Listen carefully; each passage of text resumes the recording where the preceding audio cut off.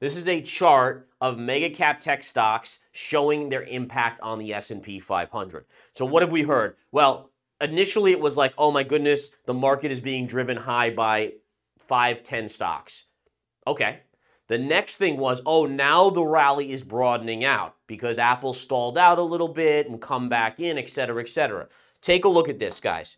This this is what the what the these stocks here, Meta, Amazon, Apple, Microsoft, Google, Tesla, and Nvidia have added to the S&P 500. Like if you just took those stocks, that's what you're up for the year. They're up a combined or average 54%. Then if you look at the S&P 500, it's only up 15% for the year.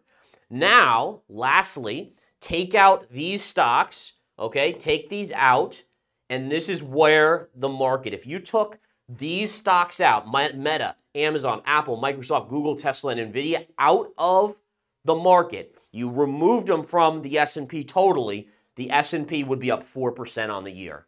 Just saying. All right? This is these are facts. These are this is legitimate facts in terms of analyzing. So to me, it's a false narrative to be saying, "Oh, well, it's a broad-based rally now." No, it's not. 4% versus 54. I mean, even the S&P only up 15%. I mean, again, it's night and day, guys. You got to kind of pay attention to the numbers. All right.